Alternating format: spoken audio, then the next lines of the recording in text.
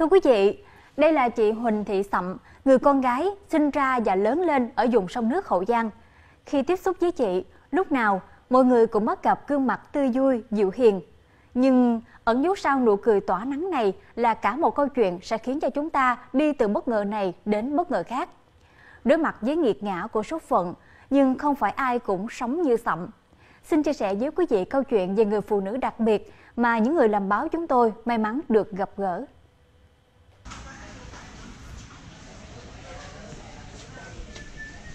Tôi tên là Quỳnh Thị sậm là ấp 7 xã Sa Khuyên, huyện Long Mỹ, tỉnh Hậu Giang. Tầm khoảng năm 15 tuổi là Sạm Nghi là mẫu giáo. Lúc đó thì mẹ mới đi à, xuống gặp thầy để à, xin cho sậm đi học, đó là thầy số nghiệp, là thầy dạy một cái trường tư cũng ở gần nhà. nhiều người nghĩ tức là khó khăn lắm mới được dạy được người này phải có cái cái gì đặc biệt ha mới dạy được nhưng mà tôi thấy cái này theo ý tôi tôi thấy em mà có cái cái, cái tâm có quyết chí rồi á thì không bất chấp bất chấp người đâu vẫn học được thôi. Mấy đứa em kia thì nó cũng nít mà. Thì nó cũng sầm xì nó tới ờ, đi học mà ngồi hết cái bàn vậy đó. ngồi bên đó là hết cái bàn luôn á. Về nhà nhiều khi ta nói cười vậy đó rồi không nó nói kệ ai nói đó yêu cầu biết chữ là được thôi má cho con đi học đi rồi bán gà nè với bán lúa đó rồi con tính cho bà để người ta ăn gian bà hết nói gì đó. trường này của sậm mà xưa đi học nè. Ơi đi học gì nè?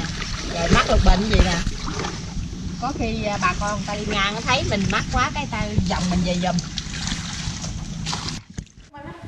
bởi vì xin cái chuồng á cho anh đi học với ờ, cái bàn cho em ngồi viết và vào vào mẫu tin thông tin cử người vô xác minh xác minh coi có đúng không? Rồi ta vô ta cũng quay phim đó.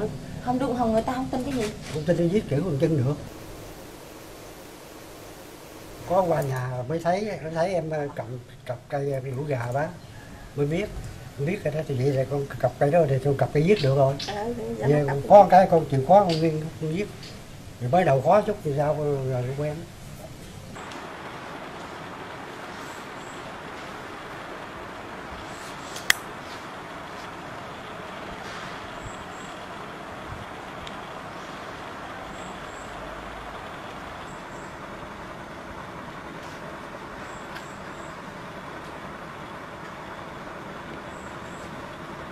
Đầu tiên đó, nhận sẵn vào trung tâm, à, toàn bộ thầy cô đây đều rất là ái ngại.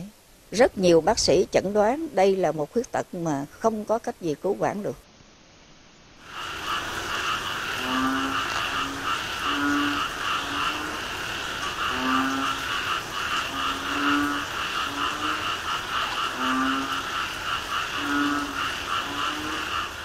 sẵn thử xem coi có thể học được cái môn tin học hay không. Thì ờ, khi đưa Sậm xuống để mà học cái nghề tinh học, thì gặp một cái trở ngại rất là lớn. Bàn chân này thì rõ ràng là chỉ có thể là có một cái ngón chân để có thể là đánh được bàn phím. chậm mới dùng cây viết chì cặp vào ngón chân. Thì như vậy là có thể là đánh hai lúc là cái đầu ngón chân với đầu bút chì để có thể đánh một lúc hai phím thì từ đó sẩm cố gắng và theo học cái nghề tinh học và cuối cùng thì tốt nghiệp loại khá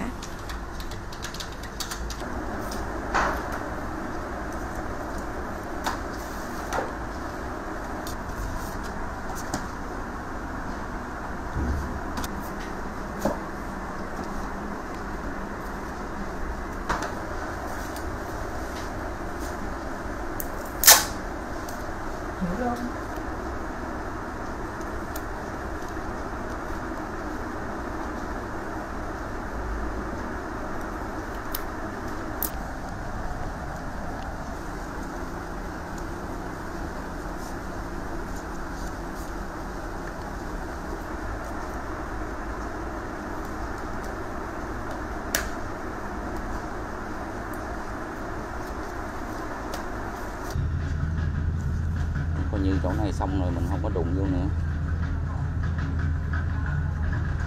Thì coi như là mình cầm tay đã khó rồi thì khi mà sử dụng qua đôi chân thì nó nó nó lại khó gấp gấp rất là nhiều lần ở trong đó. Khi bước đầu cầm cọ là đau nhé tại vì càng không biết cách cầm cọ nên biết chân xuống luôn biết xuống luôn là nó nó nó sưng ngón chân á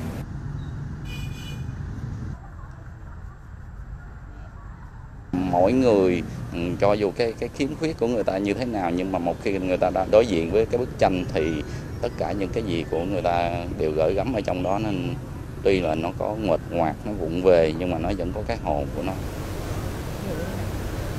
Sản thích đó là đều một cái phong cảnh những thiên nhiên, hay là những cái hoa có màu có màu sắc rất là đẹp. Mà để cho cái tâm hồn của mình nó nó nó luôn luôn nó vui à, nó thoải mái hơn. Cả đêm lẫn ngày hay gì đó luôn luôn nào cũng nhớ cái hình ảnh cái bức tranh nó suốt trong trong đầu mình. Từ cái bông từ cái màu cái đường nét của mình. Mặc dầu là xấu nhưng chính bằng chính ngón chân của mình vẽ mình cảm thấy rất là vui.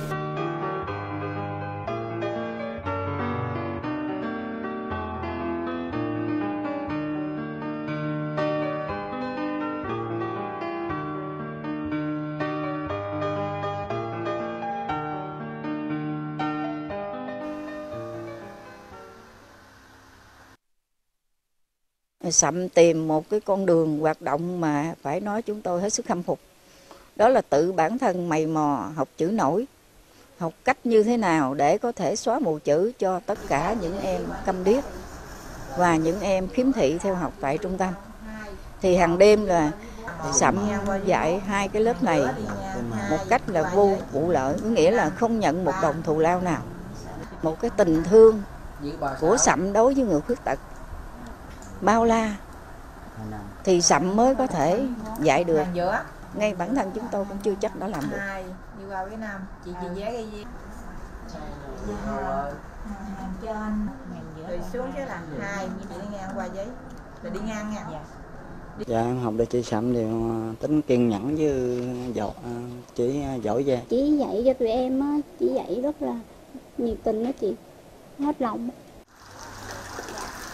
thì tôi nghĩ là ừ, các bạn ơi, mình hãy cố gắng vượt lên. Dù mình khó mình không thấy, nhưng mình phải đặt cái niềm tin của mình ở ngay cái chỗ là nhất định là mình phải làm được, mình phải làm được điều đó.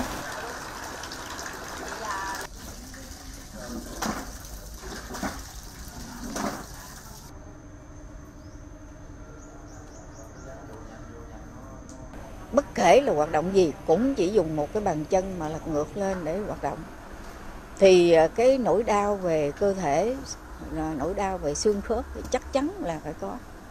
Nhưng mà vẫn dành dụm tiền bạc để mua thuốc, đem về cho mẹ hoặc là hỗ trợ mẹ về cái phần, một phần kinh phí nào đó để mẹ điều trị bệnh. Thì cái sự hiếu thảo này của sậm không những làm cho tôi mà các thầy cô ở đây đều có đôi lúc cũng muốn cảm thấy là chảy nước mắt.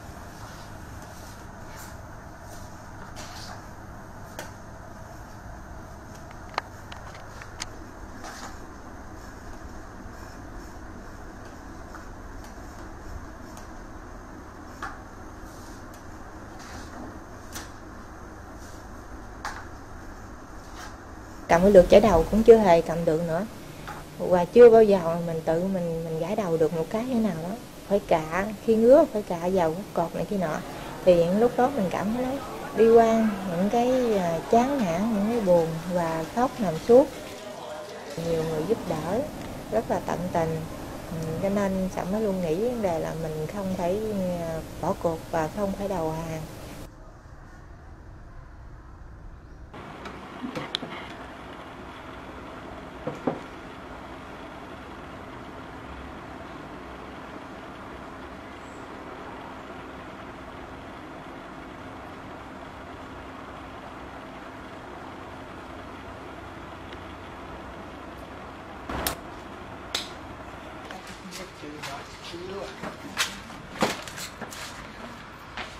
Sống cho bản thân vui cho bản thân mình cho những người và giúp đỡ cho mình. À, họ cũng không có đòi lại cái cái gì mà mình đã nhớ đến à, đó. Nhưng mà chị thì chị luôn luôn nhớ đến những điều đó mà sẵn sẽ vượt qua tất cả. Con hứa sẽ cố gắng phấn đấu thật nhiều hơn trong học tập.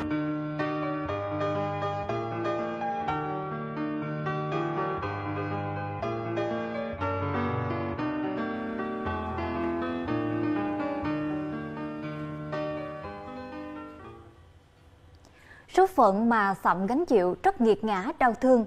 Nhưng như quý vị đã thấy, người phụ nữ ấy chưa bao giờ đầu hàng.